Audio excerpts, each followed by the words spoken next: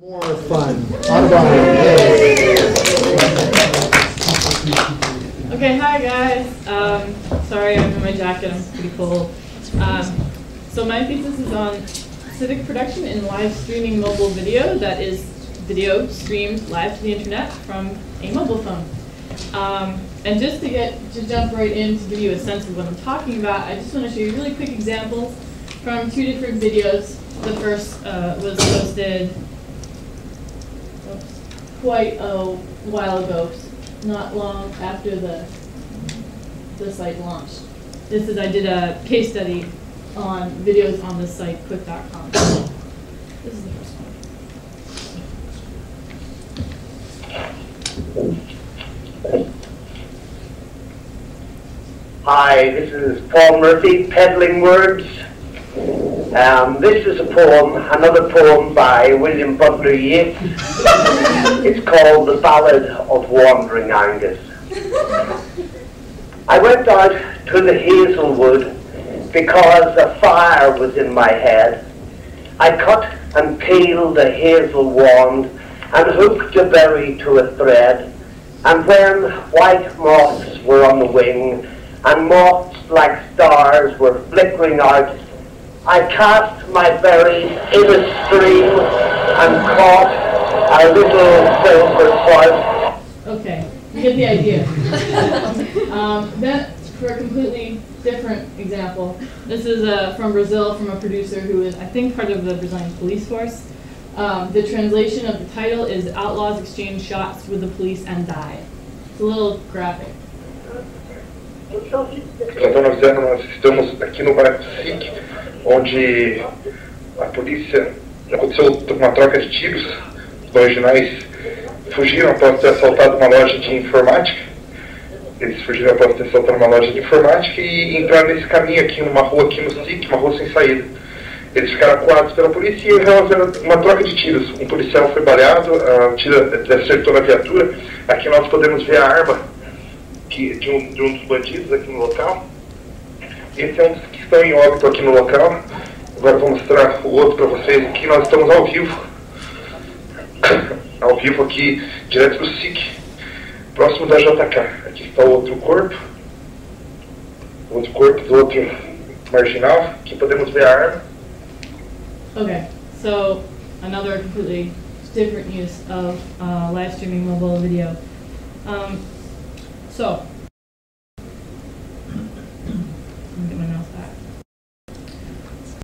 Um, so really my goal for this thesis is to explore how live streaming mobile video is developing as a practice in general, um, and then more specifically looking at what I'm calling civic producers and how and why they adopt, use, and understand this particular technology, which I'm um, calling a new medium. Uh, as I mentioned, I did a case study of Qik.com. Um, it's a it's a one of the oldest sites, oldest, a few two and a half years old, um, for live streaming mobile video. It's a mobile application and a website, um, so you can stream content from your phone, as I was doing during Sheila's presentation, and you can watch it live online. Um, the site gets around a thousand um, broadcasts a day, which are then archived on, on the site for later use. Um, and in my study, I found 80 countries. The, the site supports over 20 languages and just tons of phones. Um, so that's just a brief profile. I'll get more into that later. Um, just to sort of define the terms that I'm talking about here, I kind of morphed a few different definitions from different terms to, to characterize what I'm calling civic content. And so this is sort of a mashup of a bunch of those definitions as they relate to my subject. Um, so civic is being public spirited, an activity or an event that relates to community or public affairs. Um, and public is, you know, people producing content are authorized by serving or representing the community, and that all ties into civil society um, and being civic-minded, which is inclined to concern one- oneself with civic affairs, or public-spirited, which is different from private or household-based activities, which I term in my thesis personal or other content. Um, so this all comes together to to make up the criteria that I'm using to separate civic videos from personal or other videos. And I have further categories, which I'll get into. Also, um, on every slide, you'll see little images. in the phones. Those are actually still frames from videos live streamed by some of the producers, the civic producers whom I interviewed. So, um, and I won't explain what they all are, even though I really want to, but I could do that later if you're interested, because they're fascinating. Um, so, just to quote Henry, since he's here, and he wrote extensively on sort of trying to trying to figure out what civic media is. Um, so on his blog, he had he had used a quote referencing, or he had, he had talked about Lisa Gitelman's idea of. Um, Lisa Gitelman suggested that a medium should be understood as both as a technological platform, which is a channel of communication, and the social and cultural protocols which grow up around it. As we think about future civic media, we are not simply designing tools or devices that might be deployed to support and sustain citizenship. We're also talking about the practices that grow up around those devices, practices that shape how they get used and how they're understood by the people who use them. So that's, that's I'm using as a kind of a framework for my analysis here. Um, I'll get more, more into that approach. Just brief context, why is this important? It's a pretty new medium. Um, even from the time I started studying this, a lot more services have cropped up to support live streaming mobile video. Um, a lot of money and industry being poured into this. It's an accessible technology in the sense that it's affordable marginally in terms of you just need a phone that has a camera. Um, it's becoming incre increasingly more affordable as data plans are more affordable. It's an understudied area. A lot of the existing research really focuses on uh, the, the use of um, still photos and sharing.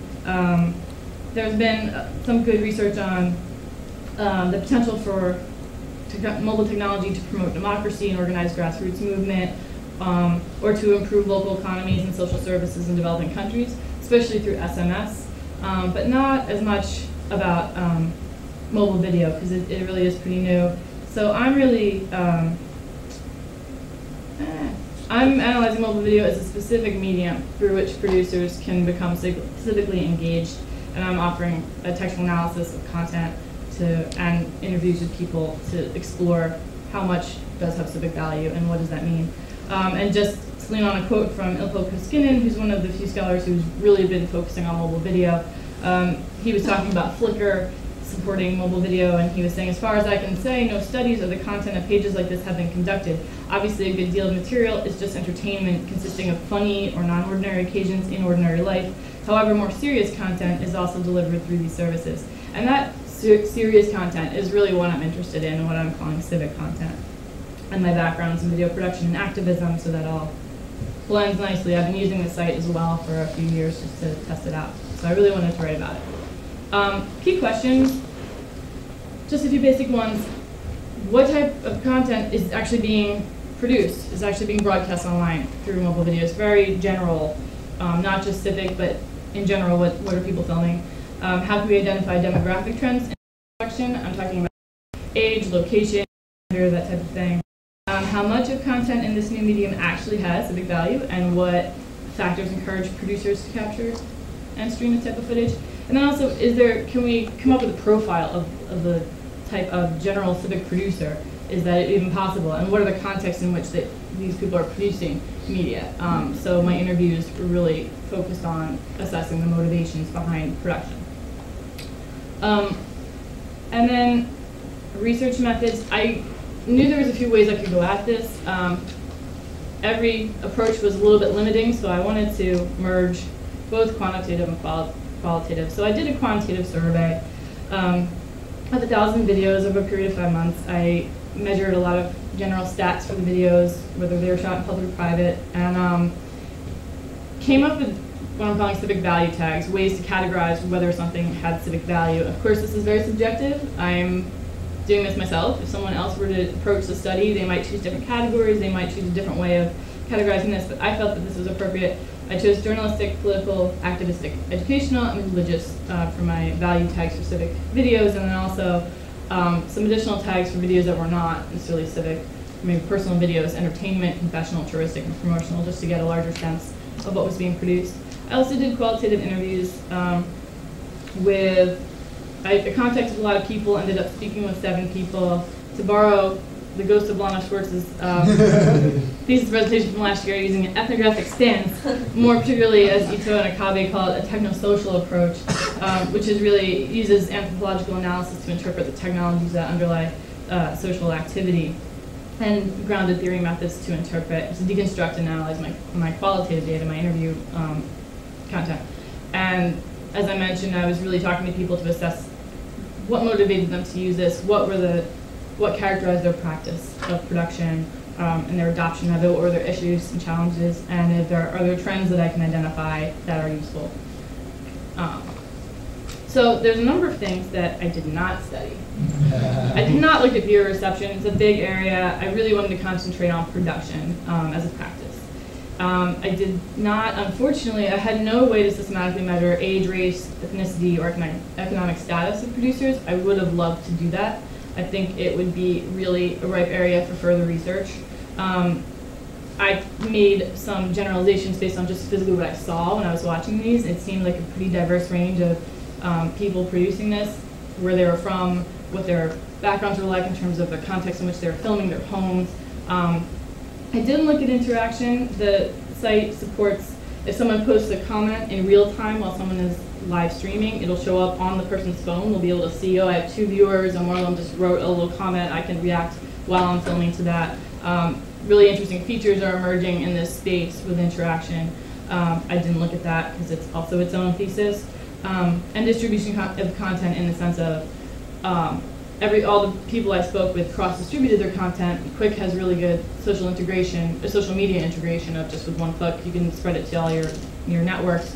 But um, I didn't focus too much on what happened to that content once it's spread out into space, or if news agencies picked it up or anything. And I really limited this to just people within the US and the EU who are English speakers for practical reasons, and also because that's the cultural context that I can best understand. So, hopefully well, okay. Um, just to give you an overview, I want to get into the interesting stuff, which is the results. So that's why I'm speaking really fast.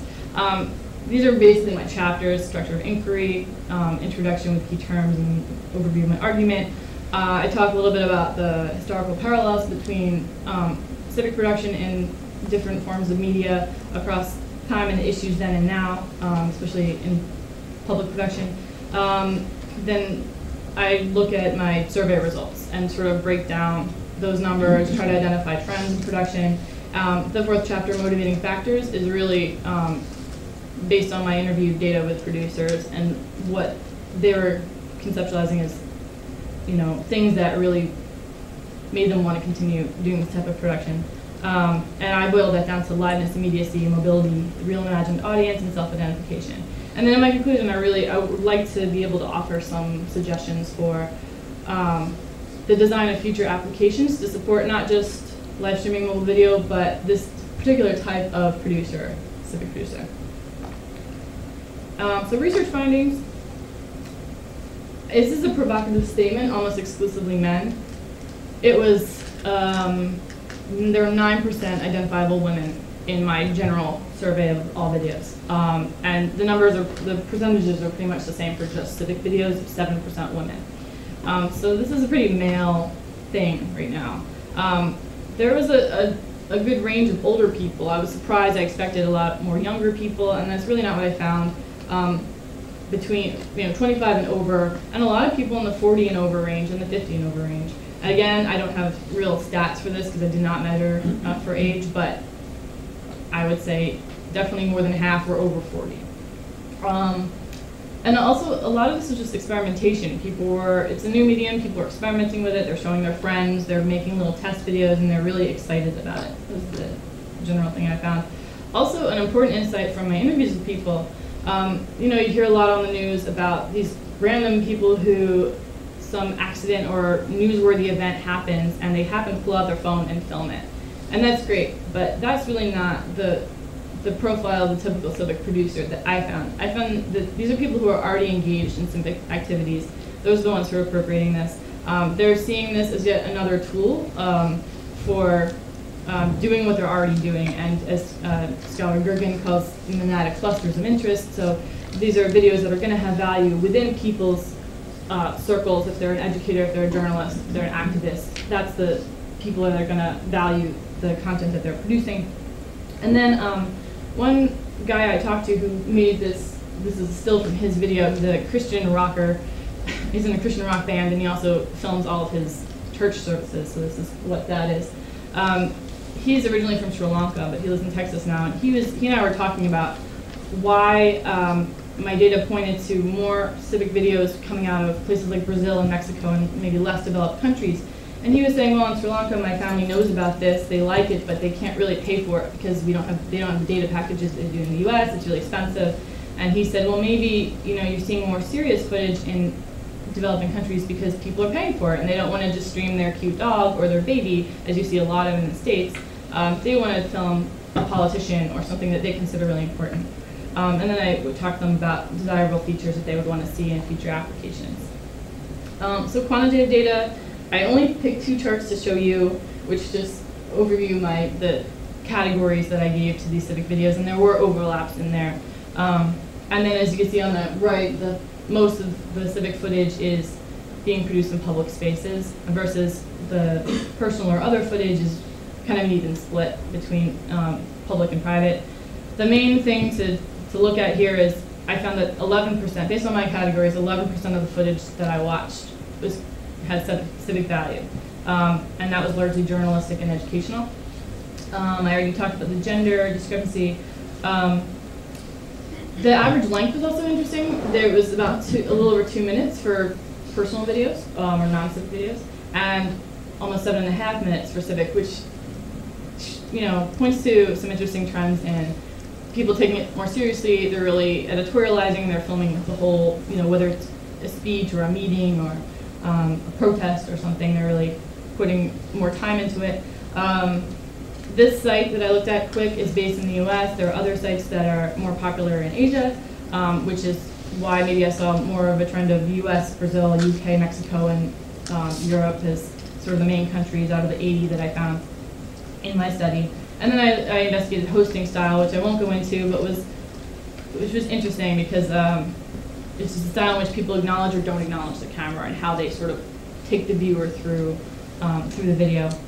Um, so qualitative insights. This is just a chart. I know it's a lot of text. It's a chart of uh, the people I talked to and where they're from. Uh, they all self-identify as um, activists or educators or journalists. They all cross-post their content in other places. Um, and half of them make personal footage as well as just civic footage. Um, and then uh, just a few quotes from people that I thought was interesting. Um, the real imagined audience is a big motivating factor for production. A lot of people have an idea who their audience is, or real stats on who their audience is, or they know that they're going to share it within their network. Other people are really motivated, uh, most of the people I spoke to are really motivated by the potential for anyone to just stumble upon their videos and become what I'm calling accidentally educated. Um, so one man, Alden, had, had explained to me, I don't have a specific audience in mind. I try to reach out to as broad an audience as possible. Um, I write about anything I can think of, partly to bridge different communities, to get people who think about one thing to try and think about something else. So this afternoon I did a little bit of live streaming of the snowstorm. So people will come in and look at my videos because they're interested in looking at the snowstorm, and hopefully then they'll look over at the Board of Education meeting or look at the speech that a candidate gave.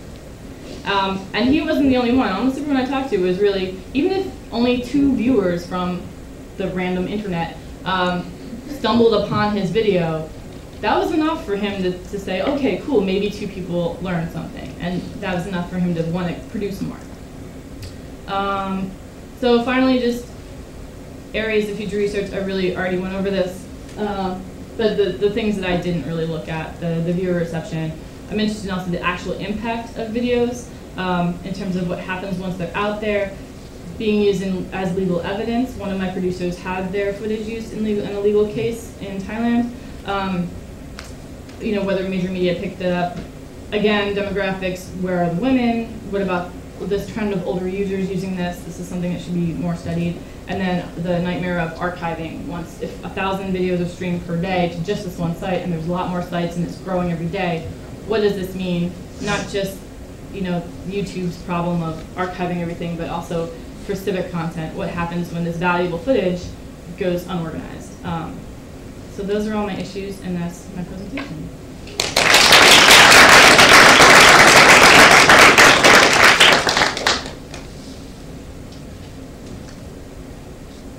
Um, I have a question about the word civic.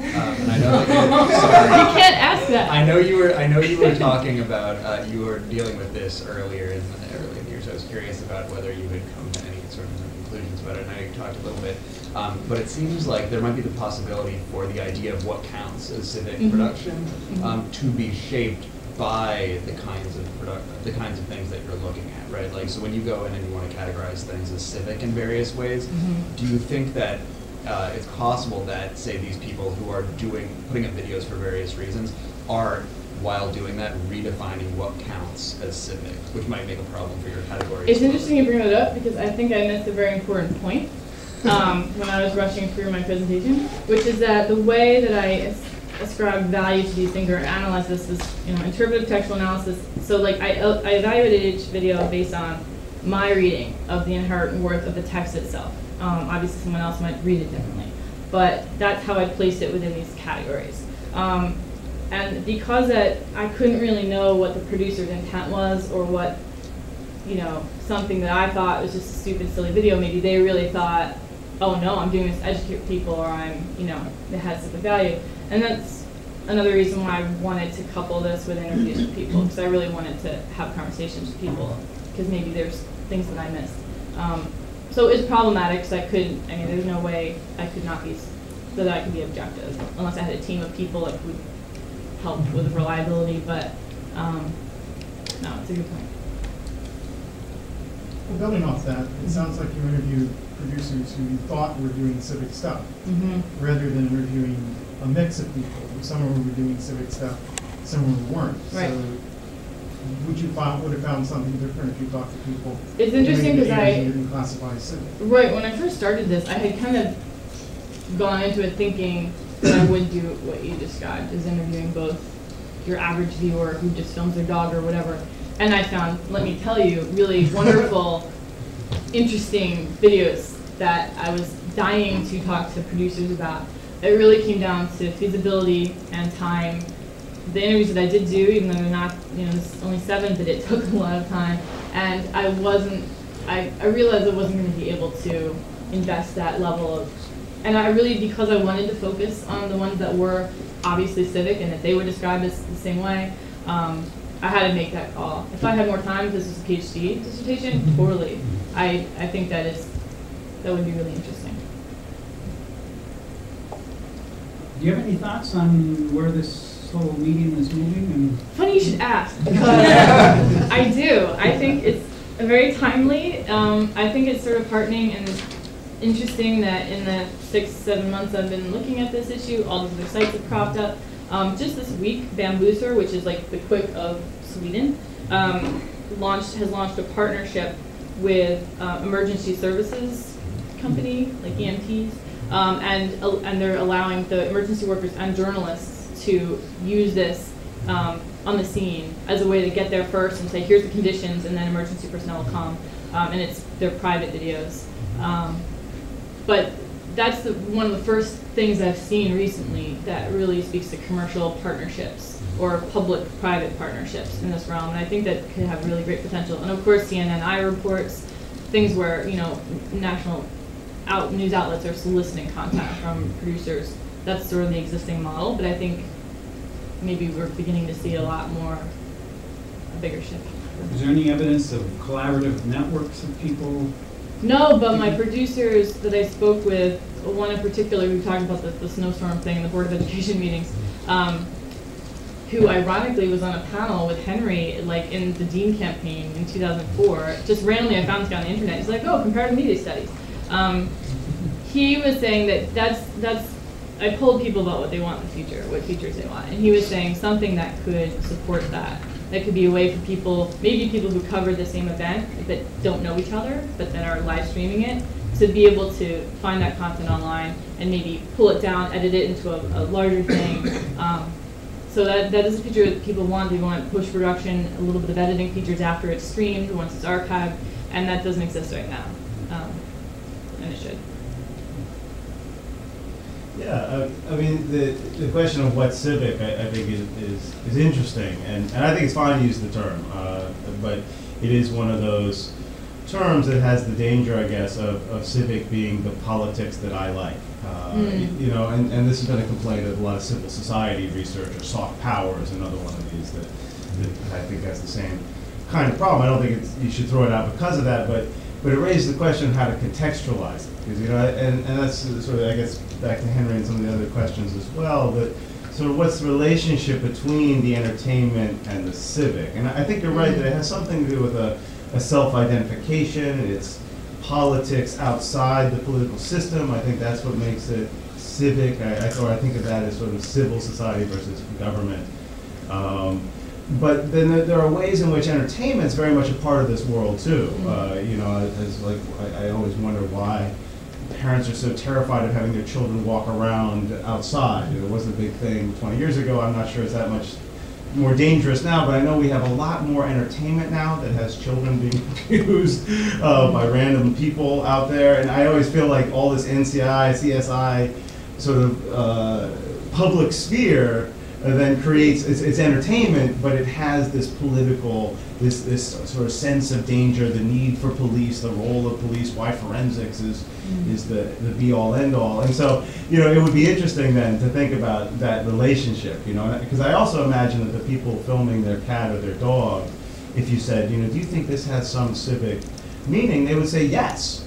You know, I think people don't recognize the importance of cats and dogs. Uh, and, and I think this will help humans be better people, uh, and it will solve problems in the world. And, and so I think, so it would just be interesting, you know. Well, it's, uh, it's something related to that. One of the people, um, Guru Mustik, who's a Sikh, um, he runs a, a website promoting Sikh um, religion and culture. He's the guy, and he filmed this, which is an interfaith chanting session. Um, and he's this guy here. Um, but he had a different perspective, similar to what you're talking about, where he had said, uh, he uses using my own life and community as a way of being very real. When you have very formal journalistic type content, it's very different. It's a very different feel than when you see real people um, and informal type settings. Part of having things this way for me is so that people can see we're all on the same level and not better or different. Whatever I do, I try to break down the barriers of misunderstanding, prejudice, judgment, hate, in the hope that people will see each other as part of the same. So his whole thing was what he considered his civic content wasn't just the religious ceremonies he was filming, but like the everyday, here's my son in his traditional way of dressing, and here's our daily life, because he wanted it to be hum, you know, humanized. Um, he wanted people to see, to, to break down misunderstandings, and I, I think that was a really interesting example, and I'm sure that a lot of other people would say that too. Participant observation is a nice term too. I mean, anthropologists use that term, but, but often it's in the service of a relativistic view of culture. Yeah. Whereas the activist says it's participant observation, where it emphasis on participant and do something. Uh, and I think you know that I think that's also part of the civic world. It's very powerful. It's, it's journalists too step back. I think usually from saying I'm trying to change. I'm saying I'm reporting on the world, and so that's where this it's this interesting space that uh, you know by drawing out some of the, the nuances of it really help us see the limitations of what is what else is out there. And also, like, what's the difference between how they're conceptualizing who's watching this and who's actually watching it? Which, right now, on this site, this is mostly a community of people producing, not people sitting there watching. Ustream, which is a similar service, has a lot of people ready to watch content, um, whereas Qik does not. And so that the, there's a disconnect there um, in terms of impact. Um, I'm fully formed, formed question in my head, but I'm interested in um, thinking about civic of like the uh, forums for debate and Mm. discussion, which it sounds like we're doing a- an interesting job of like presenting more platforms for people and more voices, um, which is great. We're hearing from people we never would have heard of before. But do you see any back and forth between videos of like people? Maybe I mean you can't do it simultaneously, but people addressing each other or Right now, not in, not, issues? The platform doesn't support that in the way that YouTube will say responses to this, and people can do video responses. But I did ask everyone about what have you gotten in terms of feedback, and how has that been important to you? And every single person, and I don't even know if this is true. I kind of don't think that it's, I don't know if it's completely true, but like everyone said, yeah, I get feedback, whether it's an email or a comment, whether it's just from one random person or someone who saw it on my Facebook page who's not even part of my network, and that really meant a lot to me, and that keeps me doing this. Um, you related. that's all. Yeah, no, I just had a question that sort of, I think does relate a little bit. Um, I saw one of your, uh, charts, it said that all of the people you interviewed posted to other, posted their videos Cross-posted, yeah. Um, and I was wondering how, how the whole ecosystem works and like how, you know, like, do they put, where do they put the stuff, how does it work in other spaces and how does it all work together? Yeah, the integration that's built into Qik is, you know, the typical sub stuff, so Twitter, Facebook. Um, it actually integrates with other sites too, like Justin TV, other video sharing sites. So, you know, you can sort of with one click spread it, but then also you can, anyone can go and um, share it to blogs or with, embedding within their own site. And everyone that I talked to seemed to do that um, actively because they knew that that's really the only way to expand their viewership. There wasn't a lot of people just randomly watching this. Um, so I think they all know that's important. I just think that the platforms could be, could build up more of that integration, whether that's through commercial partnerships with other sites or,